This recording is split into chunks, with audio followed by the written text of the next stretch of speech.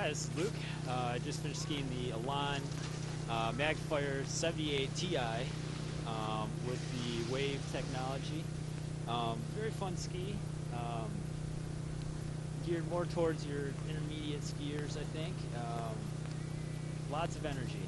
Uh, very easy transitions in and out of turns. Um, and with the Wave technology, it allows you, if you want to just do more of a shorter turn radius, or if you want to do a longer turn radius, you have that versatility. Good old mountain ski.